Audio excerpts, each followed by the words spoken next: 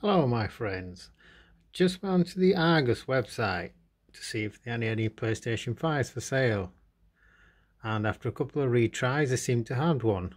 Went through all the payments and everything, confirmed the payment and it came up and says out of stock. A little bit disappointed I was.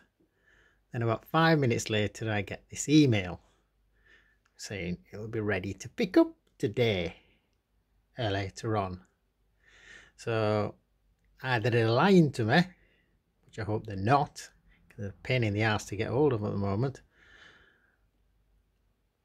But if they aren't, I am quite happy that I've finally got a PS5 at normal price. Thank you.